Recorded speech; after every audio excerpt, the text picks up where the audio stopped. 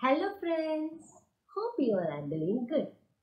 Happy to meet you all again today. How are you all? Oh, you are doing good. Let's listen to a missionary story today. Today, we are going to hear about Adoniram Judson. Have you heard of Adoniram Judson? A missionary to Burma the four words that describes Adoniram Judson's faith. He kept his faith in Jesus. Number two, courage. He had the courage to move forward in the middle of troubles. Number three, convictions. He was a man of biblical convictions. Number four, sacrifices. He sacrificed his life to serve the Lord. Don't forget these four things, qualities of Adoniram Judson. Okay? Faith, courage, convictions, and sacrifices. The four qualities of Adoniram Judson. Don't forget it. Come on. Now, let's find out how these four words are applied in his life. Are you ready? Okay. Come on. Let's get started now. I'm going to take you to Adoniram's life. Adoniram Judson was born in August 9, 1788 in America. He was the first American missionary. He was so brilliant. His parents were amazed at his level of thinking and intelligence. His parents started to teach him about Bible when he was a little boy. At the age of 3, he learned to read. At what age? At the age of three. Right? He learned to read. He was very brilliant, as I said earlier. So, at the age of four, the age of four, he used to gather his friends and he used to preach to them about Jesus at the age of four. Amazing, right? Yes. And he loved a song and he always loved to sing that song. Do you know which song is that? Okay, this was his favorite song. Go preach the gospel, save the Lord. What was the song? Go preach the gospel, save the Lord. And at the age of 10, he learned Greek and Latin. Wow, at the age of 10, what we were doing? What are we been doing in 10 years here? Yes, we are struggling to learn English and all right, but see, he learned Greek and Latin. And at his 16, he joined in Brown University. 16 age, you'll be still schooling, right?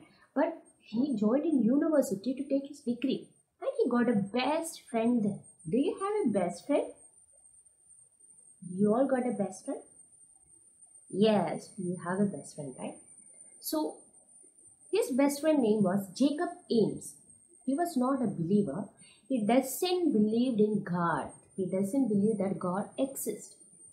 Joining with him, Adoniram went so far away from the Lord and he began to live a luxurious life.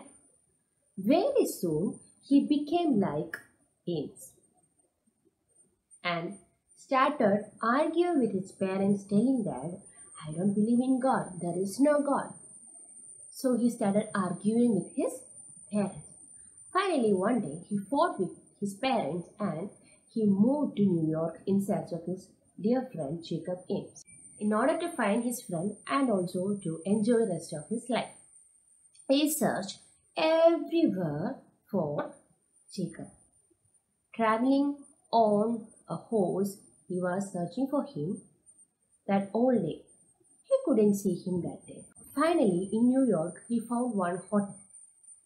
He found one hotel to stay that night, but there were no rooms available. But Judson requested them for one room to stay that night. Finally, the receptionist said, Sir, there is one room which is beside a sick person's room and it will be a disturbance for you to stay there. He may make some sounds, he may shout at the night, Judson was okay with that room. He said, It's okay, I can take the room, you can allocate that room for me. So the hotel manager allocated that room for him. In the midnight, that sick person was yelling and screaming with pain and he was shouting there. Judson was not able to sleep that morning. He got up and he packed everything and on his way, he inquired about this sick person to the receptionist. And the receptionist replied that, Sir, his name was Jacob Ames. He passed away last night. Judson got shocked. Hearing that name, his anonymous neighbor was Jacob Ames, his dearest friend. That time in Judson's heart, two things were pondering that is, the death and the hell. He realized that this is not the right thing. He was not right. And he cried a lot and asked God pardon for his sins and the things that he took.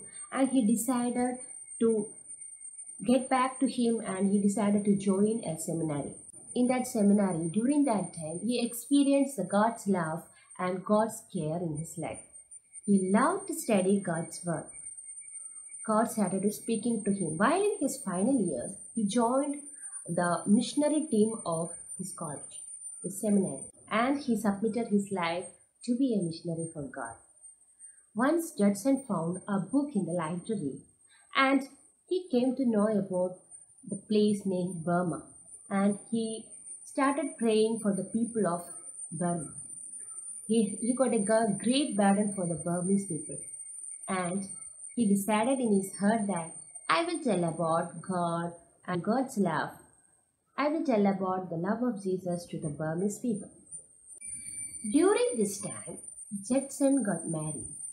He married to a girl named Anne, and both of them decided to travel together to Burma for doing God's ministry. At that time, a war was happening between England and Burma, and the Burmese king thought that Judson is a spy sent from England in order to spy the things that is happening in Burma. So he arrested Adoniram Judson and tortured him a lot. Judson's wife was pregnant and he, she went to king's palace and pleaded to king that his husband is not a spy. She wanted to somehow rescue him.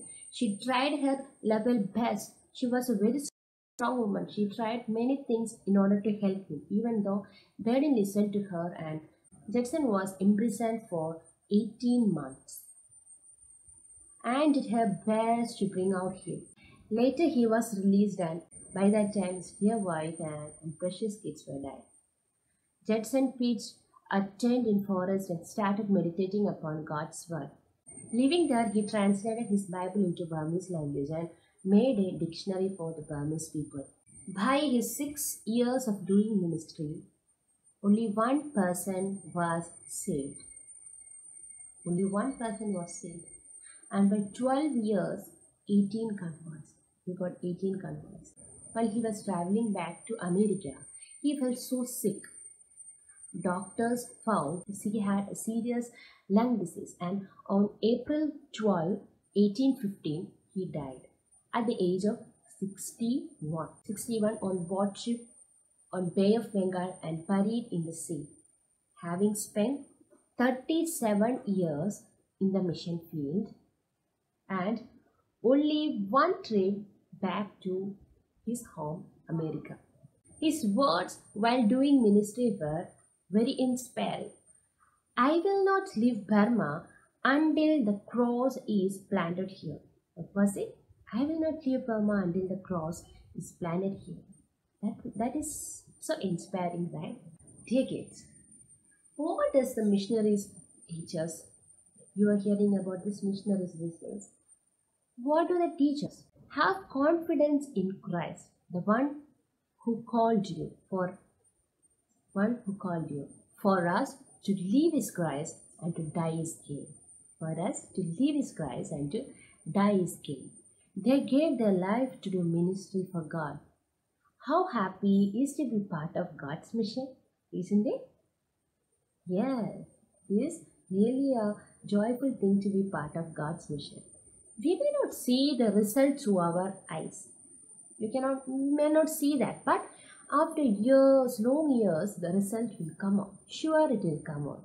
As the Bible says, unless the grains of wheat falls into the ground and die, it abates alone.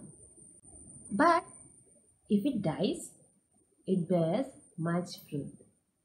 Right? If it dies, it bears much fruits. Let's pray. Let's all close our eyes and let's bow down our head and pray.